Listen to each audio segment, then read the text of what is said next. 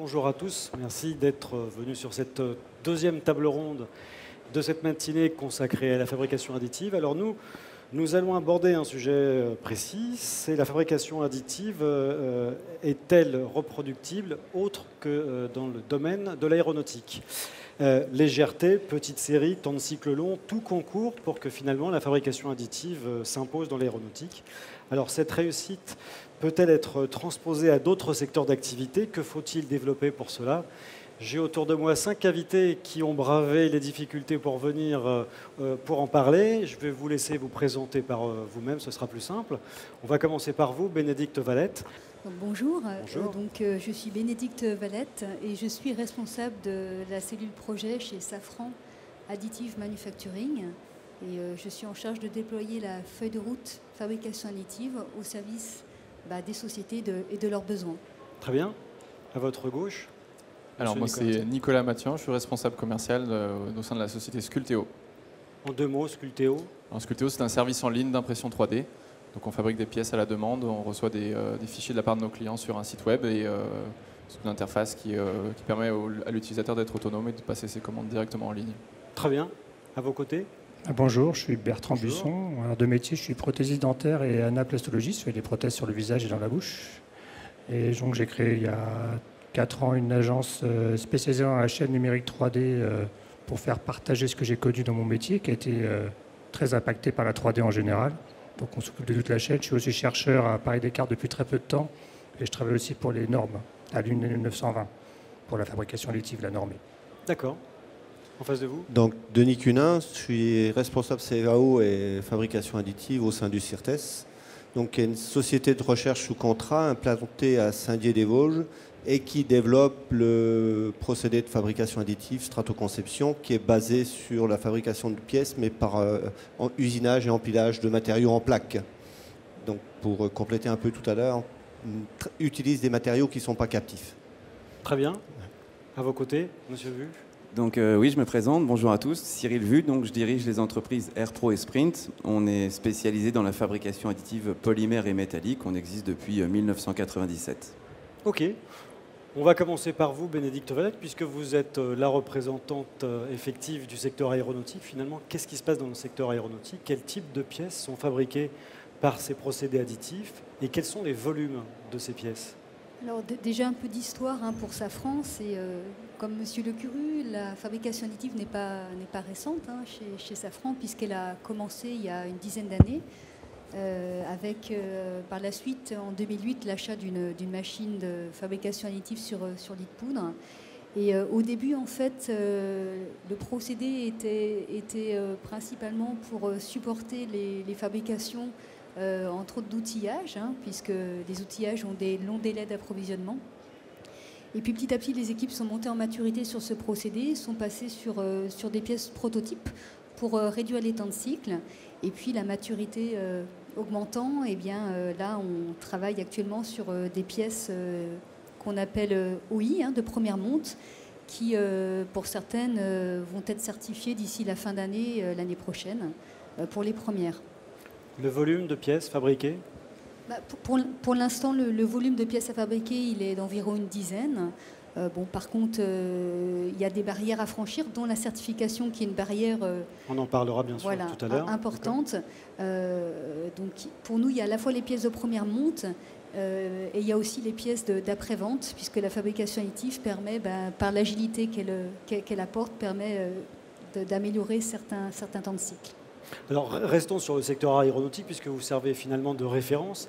Euh, pourquoi c'est aussi euh, euh, un, secteur qui réussit aussi bien à la fabrication additive? Quelles sont finalement les caractéristiques de votre industrie et pourquoi la fabrication additive bah, est parfaite pour ce type de, secteur? Bah Nous, en tout cas, les premières pièces qu'on fabrique en fabrication additive, en fait, la fabrication additive permet d'augmenter, bah, comme je le disais, les temps de cycle et permet aussi de réduire le nombre de pièces. Hein. Monsieur Le Curie montrait euh, montrait des pièces, des pièces types. Euh, nous, on a certaines pièces de moteur qui, euh, bah, par, parfois, ont un certain nombre de, de, processus hein, pour aboutir à la pièce finale, hein, des processus de soudure et de contrôle. la fabrication additive permet de faire des pièces qu'on appelle en monobloc, donc qui permettent ben, de, gagner sur, sur l'assemblage sur, et sur, sur, sur la masse aussi. Après, la fabrication additive telle que nous on l'envisage, c'est étape par étape. Et bien évidemment avec les degrés de liberté qu'elle offre, nous en tout cas on, pense à, l'intégrer au plus tôt dans nos phases de conception pour permettre justement à nos bureaux d'études d'innover par, par, ce nouveau processus. Dernière question, est-ce qu'il y a des limites déjà envisagées dans votre secteur d'activité? Est-ce que vous voyez déjà finalement la fin euh, de ce procédé pour euh, vos besoins? Oh bah non, euh, on en est justement qu'au début, hein, pour le coup, on est en train d'écrire l'histoire et c'est ça qui est, qui est, super. Euh, donc euh, là, comme je le disais, on travaille, on travaille vraiment étape par étape. Hein. Il y a, des, il y a des, bah, des, étapes à franchir, il y a des verrous technologiques mais aussi industriels qu'il faut, qu'il faut lever.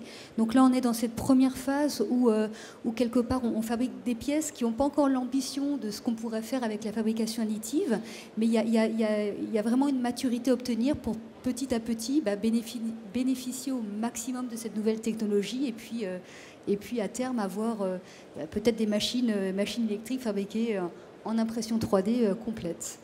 Alors une question collégiale, est-ce que l'on peut dresser le portrait robot finalement du ou des secteurs d'activité qui vont tirer en avant la fabrication additive, autre bien sûr que celui de l'aéronautique? Qui veut répondre à cette question? Monsieur Vu. Autre que l'aéronautique, alors l'aéronautique, je peux éventuellement peut-être rajouter un, petit complément d'information à ce qu'a dit Bénédicte, c'est qu'il y a aussi dans l'aéronautique un des, attraits principaux euh, vient du fait de la réduction de masse. L'aéronautique euh, présente euh, l'avantage d'avoir des quantités de pièces assez réduites, donc ça ça, c'est vraiment un point fort pour la fabrication additive. Et puis aussi, c'est un domaine sur lequel on peut ajouter donc de la matière là où c'est uniquement nécessaire et euh, du coup avoir des gains de masse qui soient vraiment très importants. Donc c'est une des raisons pour lesquelles l'aéronautique est, si porteur sur la fabrication additive, parce qu'en en fait on répond vraiment à tous les critères. Ensuite, euh, d'autres secteurs, euh, depuis longtemps je pense, viennent, ont, tiré la fabrication additive vers le haut. On a parlé du médical hein, avec des applications de prothèses dentaires. Ça fait peut-être 10 ans que c'est un marché qui existe et un modèle qui est bien connu. nous, pour notre part, par exemple, depuis depuis quelques temps, on a des sujets sur la fabrication euh, série de lunetterie. Euh, voilà, fabrication série de pièces médicales, euh, des guides de perçage. il y a vraiment des applications où, dans la lunetterie, par exemple, on fait de la production de masse personnalisée, c'est-à-dire que... De masse, c'est-à-dire quel est le volume de fabrication? Donc c'est un projet qui démarre, mais on est déjà sur plusieurs centaines de, de, paires de lunettes qui ont été fabriquées, et chaque paire est unique, elle est à la morphologie du client. On a aussi des applications dans le sport euh, haut niveau. On a eu un sujet pour les Jeux Olympiques de Rio où on a fabriqué des guidons pour des coureurs euh, de cyclistes pour la FFC. Et chaque guidon était fabriqué euh, à la morphologie du coureur. Et en plus avec une technologie aussi de structure lattice, donc très utilisée aussi dans l'aéronautique pour réduire en fait la masse des pièces, où on vient vraiment ajouter de la matière là uniquement où c'est nécessaire. Monsieur Buisson, vous, pour le, réagir. Hein. En dentaire, on a été impacté dans les années 95. Euh, à partir de 95, ils ont inventé une machine euh, à jet de cire. Donc c'est Soliscape aux États-Unis, anciennement Sanders Prototype, donc ça a fait des maquettes en cire. Donc là, on utilise une méthode indirecte. On imprime une maquette, elle va en fonderie. Après, euh, en 98-99, Polyjet a proposé donc Stratasys et aussi MJM de ces 3D systèmes pour faire des guides de perçage en implantologie orale avec des résines qui peuvent rester 24 heures en bouche. Parce que nous, le problème, ce n'est pas les machines, sont quasiment toutes dans le domaine public, c'est les matériaux. Hein. Et donc, euh, bah, ça, on l'utilise à peu près de, ouais, dans les années 2000, ça a commencé à bien se développer. Et en 2003-2004, EOS, donc euh, une société qui fabrique de la fabrication additive à de lit de poudre, et le chrome cobalt ou le titane euh, nous a permis de faire des bridges et des couronnes et des appareils. Faut savoir qu'il y a des laboratoires en France qui font plus de 10 000 pièces par an. Voilà, donc euh, sur des, euh, machines fusion additive de poudre euh, type métallique. Il y a même, on a la chance en tant que métier artisanal, hein, à avoir la première usine ouverte qui a été fondée samedi dernier par Biotech International. Lancée s'appelle Circle. Hein. Donc tous les prothésistes peuvent travailler là-bas, envoyer des fichiers 3D. Donc c'est assez révolutionnaire parce que plus on commande, moins c'est cher. Et déjà le prix de fabrication des prothèses est moins cher que si moi je la fais directement manuellement au, au laboratoire, tout simplement. C'est parce que euh, si vous prenez euh, le chiffre d'affaires d'un laboratoire, 75% c'est de la manœuvre. Vous voyez ce que je veux dire? Donc forcément, euh, si le temps gagné par la fabrication additive dans notre métier est, énorme. C'est-à-dire qu'on a la création et la finition. Ça a enlevé tous les travaux pénibles mauvaise posture, respiration des, des, matières nocives, hein, sablage, etc. Ok, donc on avance dans ce portrait robot. En tout cas, l'un des secteurs qui serait sans doute l'un des plus porteurs, c'est le médical. Des avis divergents, convergents, monsieur? Euh, Moi, je suis tout à fait d'accord avec ces, avis. Effectivement, sur le médical, dans l'aéronautique, c'est tout à fait évident. Euh, on a pas mal d'applications sur euh, de l'électronique. On a, on a des applications. Alors, Quel type de pièces? Alors, j'ai une pièce en tête qui, qui rassemble trois critères. Le premier, c'est la quantité. Donc, il ne faut pas que ce soit 250 000. On va rester sur des quantités qui sont en dessous des 10, 20 000 pièces. Euh, le deuxième critère, c'est que les pièces soient petites. Je parle de polymère hein, jusqu'à maintenant. Euh, la pièce soit petite, donc pas une pièce qui soit trop volumineuse. On ne va pas faire hein, le changement d'une pièce d'une porte de frigo, par exemple. Euh, le troisième critère, c'est que la pièce soit complexe, qu'elle ait une fonctionnalité ou qu'elle ait une forme qui fasse qu'un autre procédé de fabrication soit, soit très coûteux, soit impossible. Et donc on fabrique euh, par, euh, par dizaines de milliers une pièce qui est une partie extérieure d'un casque audio haut de gamme. Euh, donc on en a fabriqué presque 20 000 aujourd'hui. c'est une pièce qui est grosse comme ça, qui est très complexe puisqu'elle contient des, une forme alvéolaire très très compliquée qui serait pas impossible à faire en moulage, mais qui serait très compliquée et très coûteuse. D'accord. Et pour ces séries, c'est la méthode de fabrication la plus rentable, la plus rapide et la plus efficace. Ok. Le CIRTES, dernier mot oui, nous, on a une réponse un peu complémentaire euh, par rapport au, procédé parce que de par la technologie, on, vise plutôt des pièces de plus grande dimension. Donc, euh, qui par. C'est quoi les tailles pour. Bah, nous, on démarre sur du 300-300 et aujourd'hui, on a un client qui fait du 6 mètres par 2. Ah qui fait quasi, il fait des modèles de couronne en fonderie euh, qui font 6 mètres de diamètre, 6 à 8 mètres. Donc on est, on est un petit peu en dehors de, des technologies qu'on évoque là. Euh, donc nous, on aborde, euh, et notamment dans de la PME, parce que quand je parle euh, du client qui fait les couronnes, on est sur des sociétés de 400 personnes, on l'aborde par la, par la voie de l'outillage, c'est-à-dire d'être capable de faire des outils pour faire des petites séries, des pré-séries, des choses qui sont faites depuis quelques années aussi en fabrication additive, mais aujourd'hui qui se développent dans le monde de la PME. la personne de chez Heinrich tout à l'heure en présentait un exemple hein, d'intégration en interne de technologie euh, par le procédé, ben, on a aussi nous, des, gens qui s'équipent pour faire des pièces d'assez grande dimension dans des domaines de la mécanique, de la, enfin, du transport. Euh, on fait des pièces de châssis, euh, on touche sur des pièces prototypes et petites séries qui font 2 mètres de long. Donc on est un petit peu dans une autre cour, on touche un autre monde que, que ceux qu'on peut évoquer là. Donc diversité technologique, donc diversité de secteurs, avec des tout à fait, Tout à fait. Et la fabrication additive, au sens large, touche aujourd'hui de plus en plus de secteurs euh, industriels. Alors de quoi parlons-nous Est-ce que l'on parle uniquement de pièces finies? Est-ce qu'on parle d'outillage? Est-ce qu'on parle également euh, de, prototypes? Parce que la fabrication additive touche ces trois domaines. Pour vous, quel est le type de, de, fabrication qui va se développer le plus rapidement dans les secteurs nouveaux que l'on vient de citer? Bah, déjà, il y a pour, pour, pour, les, pour, scinder les deux euh, techniques, hein, vous avez la technique méthode directe, c'est-à-dire que comme en Tentaire, euh, je veux un bridge complet en chrome cobalt, ma machine a de la poudre chrome cobalt, je le fais directement en chrome cobalt. Après, j'ai une finition post-traitement. Puis il y a la méthode indirecte, comme le CIRTES, qui va faire un, outillage. Et euh, s'il travaille par exemple à la SNCF pour faire des pièces détachées normées, parce que vous avez la norme bien sûr, euh, ça va rentrer dans un cycle de fonderie. C'est-à-dire sa pièce, euh, tiens, la SNCF, elle a une machine qui tourne depuis euh, des années 50 sur, le, sur les rails, il faut tel type de pièce, il va pouvoir usiner un gros châssis, il, l'amène chez le fondeur de la SNCF qui est aux normes, et ça rentre dans la normalisation. Donc en fin de compte, les, deux, techniques indirectes et directes sont en pleine évolution quasiment en même temps, parce que les gens qui s'intéressent maintenant à la fabrication additive tombent sur ces deux voies. Donc déjà, vous avez deux voies. Donc euh, forcément, la méthode directe, vous gagnez beaucoup plus de temps que la méthode indirecte. Nous, on a commencé par la méthode indirecte. On faisait les couronnes en cire et après, on les coulait en chrome cobalt ou en or. Maintenant, on les fait directement en chrome cobalt. Vous voyez déjà l'intérêt. Donc je pense que là, déjà, euh, les, techniques euh, de méthode, comme la dame tout à l'heure voulait, suivait d'autres méthodes. C'est-à-dire que là, elle passe par un, outillage pour faire son, son moule, l'empreinte de son moule, de son moule en sable. Alors vous pouvez directement imprimer le sable. Donc forcément, moi j'aurais plutôt tendance à direct imprimer le sable pour couler directement ma fonte d'alu à l'intérieur, par exemple. Ça me paraît plus logique. Mais après, D'accord. Voilà, c'est. Une, une, expérience semblable aussi pour vous, pièces directes, pièces indirectes réalisées par des moules voire prototype, parce que c'est aussi euh, un euh, des débouchés euh, évidents de la fabrication additive. C'était même celui qui était à, l'initiative de la fabrication additive.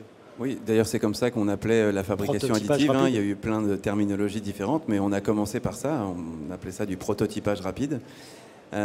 Donc c'est vraiment le prototype reste quelque chose d'essentiel, je pense, et, même dans la, dans la fabrication additive métallique avant de parler de petites séries, euh, il y a toujours une phase de développement et de mise au point. Le prototype reste euh, dans, la phase de, création d'un objet forcément essentiel. Et depuis 2004, on, fait aussi alors, de la fabrication indirecte euh, métallique, c'est-à-dire que depuis 2004, on imprime des moules dans lesquels on injecte des pièces plastiques. Donc c'est aussi une, une, voie très intéressante. On peut imprimer des noyaux avec des refroidissements au plus près pour des pièces séries plastiques mais on peut aussi imprimer des moules euh, voilà, complètement. On fait aussi des, moules d'injection hybride, c'est-à-dire qu'il y a une partie du moule qui est usinée, et puis une autre partie, euh, toutes les parties complexes, par exemple, d'un moule qui vont être euh, rapportées en additif. Les caractéristiques mécaniques d'un moule réalisé en fabrication additive sont semblables au même moule réalisé en soustractif? On pourrait, enfin, on fait par exemple euh, parfois des moules en maraging, donc c'est un acier d'outillage avec un post-traitement thermique, on arrive à monter une dureté très élevée de l'ordre de 54 HRC, euh, ce qui permet de tirer des millions de pièces dans un moule. Quand on vient nous voir pour, euh, alors on ne fait pas de fabrication en si grande série chez nous, on, se limite plutôt à des quantités plus faibles, mais parfois on vient nous voir pour des, quantités beaucoup plus réduites, et dans ce cas-là on fait des moules en aluminium.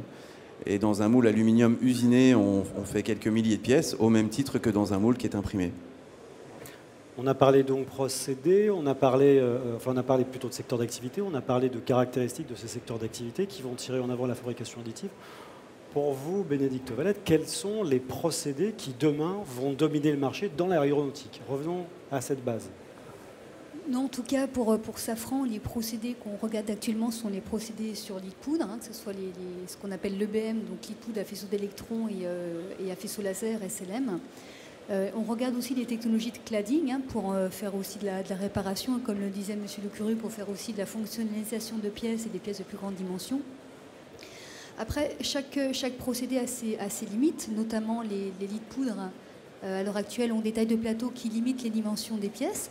Donc il y a des développements en cours pour justement accroître euh, la dimension des plateaux pour pouvoir fabriquer des pièces de plus grande dimension. Mais si on va sur de la plus grande dimension, on aura les procédés euh, à base de, fils qui permettent bah, justement de fabriquer des pièces plus, plus, grandes. Mais la contrepartie de ces procédés, c'est bah, l'état de surface. Et, Donc du post-traitement derrière. Oui, on est limité en termes de, de complexité de géométrie. Donc, en tout cas, il y a, à l'heure actuelle, je pense que chaque procédé a, une place. L'EBM, par exemple, bah, on sait qu'on va aller plus vite en, temps de lasage. Bon, par contre, il y a des contreparties sur, sur la finition, euh, etc. Euh, après, où est-ce qu'on va demain? C'est qu'on voit beaucoup d'évolutions beaucoup de, sur, sur des procédés hybrides. Euh, c'est des choses que Safran regarde. Additif et soustractif pour Alors ça peut être addi ouais, additif soustractif ou ça peut être aussi de l'hybridation type, euh, si on parle de projection, ça peut être de la poudre euh, avec du fil. On, peut imaginer plein de, plein de formes d'hybridation pour le coup. il faut encore qu'on arrive à démontrer l'intérêt de, justement de ces évolutions sur, sur notre marché. Il y a trois prestataires de services finalement autour de cette table. Pour vous, quel est le procédé qui est le plus utilisé dans vos entreprises respectives? Chez nous, euh, c'est le fritage de poudre. Hein. C'est ce qui permet de faire euh, des Métallique ou polymère euh, Polymère. Polymère, d'accord. c'est ce qui permet de faire des pièces avec une très bonne de très bonne propriété mécanique à un coût tout à fait abordable qui permet de faire des séries qui, va, qui vont jusqu'à 500, 1000, quelques milliers de pièces. Bah, nous, alors sur les sept technologies de la norme, hein, parce qu'il y a une norme aussi là, on utilise euh, la poudre métallique, hein, la poudre plastique, hein. on utilise euh, tout ce qui est résine UV, donc DLP, euh, SLA, donc stéritographie, l'invention qui est française d'ailleurs. Et on utilise, qu'est-ce qu'on utilise encore Tout ce qui est jet. Celui qui, sort du lot à celui qui sort du lot, c'est difficile parce que c'est tous, comme disait ma collègue, c'est tous complémentaires. Hein. D'accord.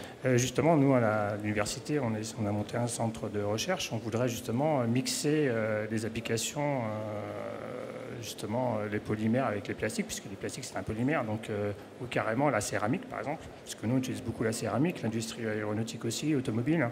Donc la céramique, vous pouvez la mettre en forme avec différents types d'impression 3D, vous voyez.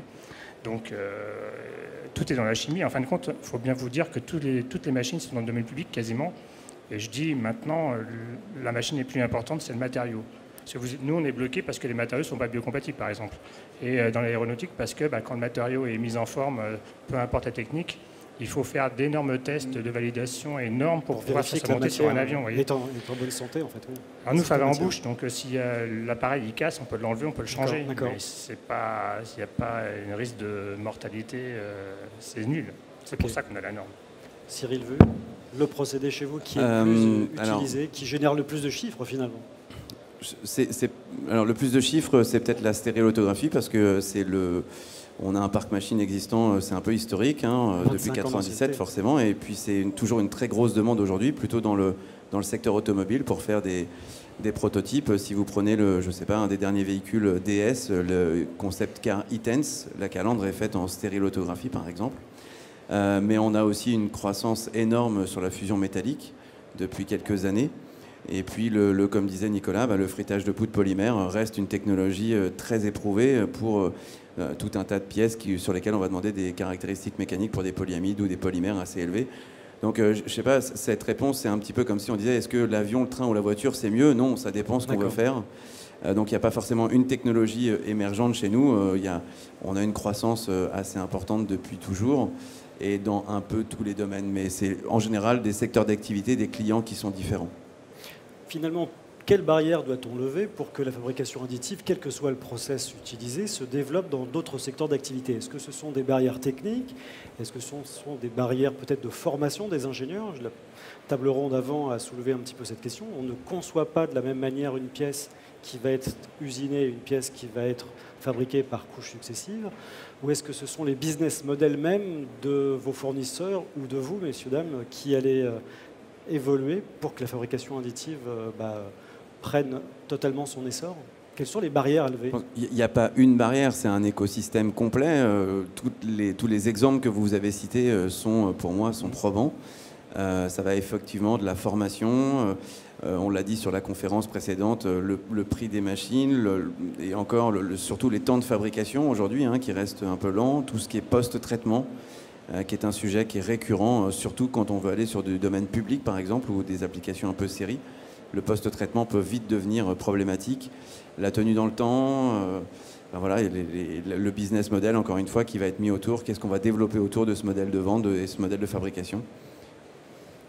Les business models sont très très compliqués à mettre en route. Ils vont, être impactés ah, C'est-à-dire que ça dépend. Si euh, je prends l'exemple de Sios, donc ça c'est euh, une docteure en acoustique qui s'appelle Polly Devno. Elle a inventé un logiciel, vous changez la, la forme interne d'un bec de saxophone, ça vous change le son. Donc là, son business model, euh, donc elle réalise ses becs en, FDM, hein, en dépôt de fil, ou en métal, hein, parce que j'en ai fait en chrome cobalt pour les normes, parce que c'est un bec de saxophone dans la bouche. Son business model est royal parce qu'elle ne peut utiliser que la fabrication additive. Vous voyez ce que je veux dire Donc, euh, trouver un business model aussi euh, disons, euh, captif, c'est à, part à part les prothésistes que nous, on se l'a approprié, elle, elle a invité son métier. Elle fabrique des becs de saxophone dans la fabrication additive, dont vous pouvez choisir le son, et ils en sont à 500 sons différents, sur le même saxophone, le même joueur de saxophone. Donc ça, c'est un exemple de business model euh, révolutionnaire. Tous les autres métiers, pour l'instant, euh, ils ont utilisé la fabrication additive pour faire des pièces qu'ils faisaient avant dans une autre technique. Donc la formation, nous on travaille, euh, je travaille pour une école, je fais plutôt du conseil. Donc ils veulent faire un CAP ou un bac pro euh, pour justement euh, utiliser les machines, parce que forcément, je pense que vous avez du mal à trouver des, bons techniciens, parce qu'en en fin de compte, c'est ces débauches entre eux. D'accord. bon, ça, c'est dur de trouver quelqu'un en tout cas. Aéronautique, la barrière à lever, la normalisation? Oui, aussi. Enfin, là, on est clairement dans, dans une phase d'appropriation. Euh, donc il y a différents verrous à lever. Euh, un des verrous, c'est pour nous, c'est en tout cas la certification des pièces et qui va justement ben, permettre de lever un certain nombre de verrous, comme notamment la, maîtrise du procédé. Hein. Il faut qu'on démontre euh, que les paramètres clés du procédé sont bien mis, euh, bien mis sous contrôle. En tant qu'industriel, ben, il y a aussi la, barrière économique hein, qu'il va falloir euh, lever. La fabrication additive, on ne va pas convertir 100% des pièces d'avion avec, ce, avec ce nouveau procédé. Il faut qu'il y ait un gain pour nous économique, mais aussi un gain au niveau des, au niveau des performances. L'un va pas sans l'autre. Et puis après, dans un, deuxième temps, on va, vraiment euh, euh, essayer de bénéficier, comme je le dis, au maximum de l'impression 3D, de, ce qu'elle est capable d'offrir. Et là, il y a en effet euh, des concepteurs actuellement dans les bureaux d'études, eh bien, ils designent des pièces avec ce qu'ils ont appris à l'école. Donc, c'est bah, les procédés traditionnels. Il y, a, il y, a, vraiment, donc la formation à faire, mais il y a vraiment un état d'esprit à changer pour pouvoir concevoir des pièces en pensant fabrication additive. La cellule dont vous avez la charge au sein euh, de votre entreprise est justement euh, orientée sur cet aspect, changer les mentalités, changer les, habitudes de travail des designers. Ça en fait partie. Ouais, ouais, ça en mmh. fait partie. Donc là, on a, on a fait une formation, euh, un MOOC hein, en ligne, qui touche le plus grand nombre de collaborateurs au sein de Safran, dont les bureaux d'études, pour justement commencer à les, à les initier aux potentialités de cette technologie peut-être vous aussi, les barrières à lever ou les cadres à mettre en place pour faciliter bah, votre business finalement euh, je pense que c'est très souvent une question de, culture. Euh, un exemple qui illustre bien ça, c'est que euh, nos clients viennent nous voir pour faire un prototype. Et très souvent, ils sont satisfaits par la technologie, ils sont satisfaits par les pièces qu'on livre. Et ils se disent, bah, en fait, j'ai 200 pièces à livrer dans un mois, je peux les faire dans cette technologie. C'est tout à fait possible, ça remplit mon cahier des charges et j'ai le temps en, parallèle de faire fabriquer un moule et de pouvoir fabriquer la série. Donc c'est euh, très souvent par cette approche qu'on arrive à avoir des clients série. Et, euh, probablement, si on n'avait pas fait ces prototypes, ces clients-là ne seraient pas venus nous voir pour faire leur, série, en tout cas les, premières séries de pièces. Donc il y, a, quelque chose de très culturel, je pense, et, euh, qui est en train de s'améliorer avec cet écosystème. Ok. Denis Clinin, vous avez bah, y a, bon, On a parlé, il y a la formation, hein, effectivement, de la sensibilisation à ces technologies-là. Alors, quelquefois, elle est faite en interne. Nous, on pratique aussi de, diffuser ça au travers de semaines et d'élèves, de, les former régulièrement à ces technologies-là. Et puis, il y a un élément aussi euh, qui arrive, euh, qui rejoint un petit peu la caractérisation, enfin, qui va profiter de la caractérisation des, matériaux utilisés en FA, c'est euh, d'intégrer les procédés de, enfin, de la conception enfin, d'intégrer la FA au niveau de la conception. On parle de structure lattice, ça veut dire qu'il faut qu'on ait des logiciels qui soient capables de le faire. D'optimisation euh, topologique. Voilà, d'optimisation topologique, de, le calculer, de maîtriser le matériau, et puis ben, d'intégrer, euh, nous on le fait aussi avec le procédé aujourd'hui, d'intégrer le procédé dès la conception. notamment un partenariat qu'on a avec Missler pour intégrer toute la partie tranchage, préparation de nos outils dès la conception de la pièce, c'est-à-dire regarder là où on met la matière quand vous avez affaire, et je m'adresse aussi à vous, Cyril, quand vous avez affaire à des industriels, ils connaissent les procédés, ils savent quelles sont les contraintes, outre les avantages, mais les contraintes de conception, et donc leur intérêt souvent de redesigner leurs pièces, ou au contraire, globalement. Euh, Alors ça dépend à qui on s'adresse. Quand on travaille avec Safran, euh, c'est assez facile. Euh, ils savent ça aussi bien que nous, et le dialogue est forcément facilité, mais on a quelques clients qui viennent souvent avec des pièces qui sont déjà designées, qui sont déjà existantes et qui nous disent combien ça coûte en additif. Euh, c'est en règle générale une mauvaise question. Euh, je prends toujours cet exemple un peu choquant. C'est comme si on vous posait un bateau sur le parking et que vous demandez euh, combien ça coûte de faire Paris-Lyon avec le bateau. Il faut lui mettre des roues, il faut peut-être l'homologuer, hein, tout ça c'est un peu compliqué. ce qui serait bien, c'est plutôt que d'arriver avec un bateau, c'est de nous laisser dessiner une voiture par exemple, hein, pour reprendre toujours cette même image. Euh, dans ce cas-là, effectivement, on propose au client, s'il a vraiment le souhait d'aller sur de l'additif pour toutes les bonnes raisons qu'on a évoquées au départ, de nous laisser reconcevoir la pièce et de, faire un design qui soit approprié à l'additif. On vous l'aviez dit tout à l'heure, une pièce qui est forgée ou une pièce qui est faite en fonderie, elle a un design particulier. Ça, c'est ancré dans toutes les mentalités. Euh, une pièce qui est usinée, elle ne sera pas faite de la même manière qu'une pièce de fonderie. Eh bien, une pièce qui doit être faite en additif, c'est exactement la même chose, la même règle elle doit être imaginée pour cela. Avant-dernière chose, sur quels critères construire un business model quand on est prestataire de services comme vous, utilisateur de technologies de fabrication additive pour que le business se développe. Est-ce qu'il faut se spécialiser dans un secteur d'activité, dans une technologie? Est-ce qu'il faut au contraire avoir un parc machine très euh, diversifié pour répondre à tout le monde? Est-ce qu'il faut avoir une chaîne continue? Comment euh, euh, construire ce business model pour qu'il fonctionne? Je pense qu'il y a plusieurs démarches possibles, mais de toute façon, oui, forcément, on va se spécialiser. il y a quelques années, on faisait aussi bien des bijoux que que des pare-chocs, euh, que du médical, du dentaire, etc. Aujourd'hui, par exemple, il y a des marchés qu'on a perdus. On ne fait plus de bijoux, on ne fait plus de dentaire, parce qu'il y a des gens dont c'est devenu vraiment le cœur de métier avec des outils spécialisés.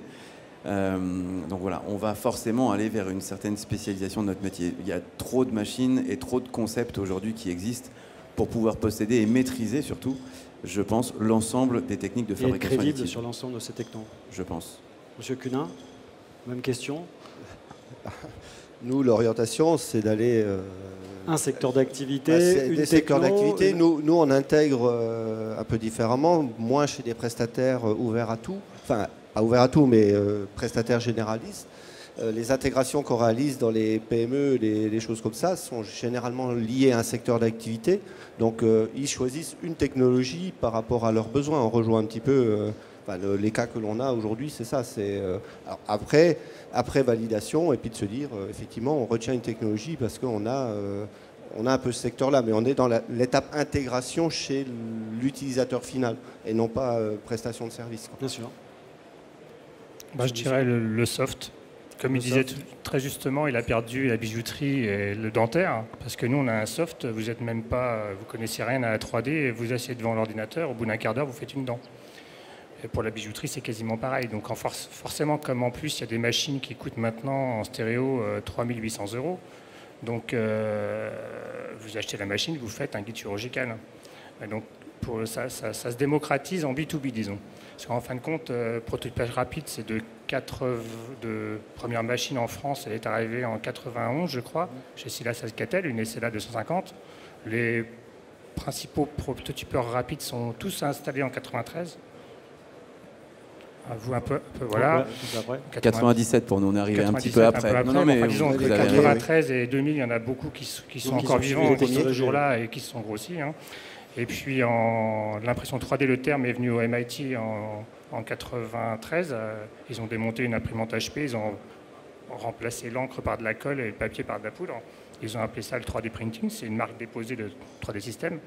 Euh, tout le monde l'utilise, donc c'est tombé dans le domaine public. Et puis après, euh, la, fabrication additive, euh, bah voilà, on fabrique, je sais pas, sur un plateau de 300 par 300 par 300, je peux faire 3000 couronnes, quasiment. Quoi. Donc, euh, oui, c'est fabrication additive. Mais le soft, si vous donnez à un artisan ou une PME un logiciel facile d'utilisation, bah, il va acheter une machine. Logique. Parce que la fracture aussi, c'est bah, la maîtrise de la 3D. un logiciel que je sais pas une plaque euh, squelettée en chrome cobalt, bah, je peux l'imprimer euh, en chrome cobalt. Elle a été conçue pour être imprimée en chrome cobalt. Et éventuellement, je peux l'imprimer en cire aussi, mais euh, le fichier 3D égale une technologie. D'accord. Nicolas Mathieu, même question. Est-ce que pour vous, l'avenir, c'est la spécialisation, les multitechnologies, la couverture globale de la chaîne, depuis la conception jusqu'à la livraison de la pièce chez votre client Je pense que la réponse, elle est diverse. Il faut évidemment avoir un mix de tout ça. Euh, aujourd'hui, effectivement, je pense que la spécialisation est très intéressante. Euh, on voit qu'il y a de plus en plus de résines spécifiques euh, qui nous permettent de, de, cibler des applications nouvelles qui sont, qui sont très intéressantes. Alors, l'exemple de Carbone 3D est un, illustre assez bien ça. C'est qu'on a des nouvelles résines qui permettent d'avoir des, des polymères souples, par exemple, ou des polymères très rigides, ou des polymères qui résistent très bien à la chaleur. Euh, ça, ce sont des, euh, exemples de, spécialisation qui vont nous permettre de, faire grossir le marché puisque les applications sont nouvelles. Euh, il y a quelques années, on n'avait pas de ce, type de, polymère accessible aussi facilement. donc c'est une, un, je pense que ça va continuer de, grossir dans, ce, dans cette perspective. et donc davantage de spécialisation pour des applications nouvelles. Ok. Dernière question collégiale, vous gagnez au loto 5 millions d'euros, demain c'est le tirage. Quel est votre premier investissement en matière de fabrication additive pour développer euh, votre, votre business? Bénédicte Valec, à vous. Ben, je pense que si on, prend l'exemple euh, outre-Atlantique hein, des G qui investissent massivement euh, parle pas de 5 millions, là on parle de, on parle de plus d'un milliard. On parle de plus, d'un milliard. Je pense qu'il faut être, si vraiment on veut développer la technologie, il faut être plus ambitieux que, ces 5 millions. Et, et, puis aussi, surtout, on sait qu'on a une filière à développer et que le développement, il va se faire ensemble et pas chacun de notre côté.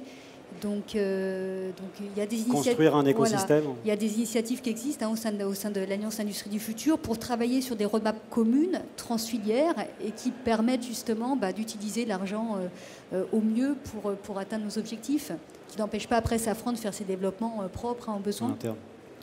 Et puis indépendamment de l'argent, on, l'a déjà évoqué, mais il y a vraiment aussi des, changements de mentalité opérés dans, dans les sociétés. Euh, voilà, on parle, si on veut vraiment nous révolutionner, en tout cas nos, produits, il faut qu'on fasse de, il faut qu'on commence à analyser, euh, faire des analyses de systèmes complexes. Et donc là, bah, on touche, euh, on touche l'ingénierie collaborative, enfin voilà, des, des, comment dire, des, métiers ou des, collaborations dans l'entreprise qu'il faut développer. Des remises en question profondes. Aussi. Ok. Votre premier investissement, demain, 5 millions, c'est quoi Une nouvelle machine? Euh, je, dirais R&D, un investissement R&D, euh, puisque c'est justement cette recherche qui va permettre de, trouver des technologies nouvelles qui vont créer des nouveaux débouchés. Euh, même si j'ai certainement plein d'autres idées, mais on va dire ça pour répondre à la question. Votre voisin 5 millions, bah là on m'a proposé de passer un doctorat à CIFRE à Paris Descartes, donc je cherche un partenaire, d'ailleurs si on en a un salle. Si j'avais 5 millions, je me focaliserais uniquement sur les matériaux, puisque tous les, quasiment tous les procédés sont dans le domaine public. Euh, les sept euh, des normes, quasiment, on peut les faire. Mhm. Donc, euh, je, comparerais Total à Ferrari. Vous avez une Ferrari, vous n'avez pas d'essence, vous ne roulez pas. Vous êtes Total, vous pouvez rouler avec toutes les voitures. D'accord. Donc, comme disait tout à l'heure, tout à l'heure, la dame, elle était bloquée parce qu'elle a une machine. Elle, peut, elle est obligée d'acheter sa résine ou ses polymères à cette machine. Bah, Donc vous, ça serait l'indépendance vis-à-vis des fournisseurs ah, oui, de matériaux. La matière première, vous êtes le roi du monde. D'accord. Après, vous avez une machine, vous l'adaptez, et puis voilà. Alors nous, on a un peu réfléchi à votre question pour préparer ma venue. Euh, bah, nous, il y a, euh, on a encore des travaux à faire, hein, notamment dans l'outillage et l'outillage instrumenté. Donc si on avait les 5 millions, c'est euh, continuer nos preuves de concept sur l'application outillage instrumenté, puisqu'on se porte plus sur l'outillage ou, de la ou de la pièce très complexe à, caractériser. Quoi. Cyril Vu votre bah, Je rejoins un peu ce que dit Bénédicte, 5 millions c'est bien, mais... c'est pas assez. C'est pas assez. Alors au loto, on peut gagner plus. Hein. je, ne joue pas, je joue pas. Alors je suis mal placé pour en parler, mais non, 5 millions, c'est une belle somme. Oui, euh, je pense que euh, depuis 2012, on fait énormément d'investissements sur la partie métal. Euh, ces deux dernières années, on a investi 2 millions d'euros juste sur la partie métallique. on poursuivrait nos efforts essentiellement, je pense, dans cette voie-là. Très bien, ce sera le mot de la fin. Merci à tous les cinq d'avoir participé à cette Merci à vous. Merci, merci de votre participation. Bon appétit. Bonne fin de semaine.